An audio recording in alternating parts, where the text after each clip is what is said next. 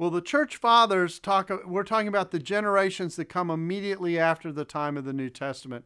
and uh, that it's a the the church fathers, the apostolic fathers themselves, are in the generation immediately after the first generations of the early church, second century uh, into the third century, and then there's another group called the apologists who extend from the mid second century beyond, and most of our you know, the apostolic fathers is kind of, uh, or rather, the, uh, the church fathers is a big category. It can extend for centuries uh, uh, to the variety of key writers who have influenced theology and church history, really up until probably about, oh, the fifth or sixth century, and then you cease to call them church fathers anymore, although that, that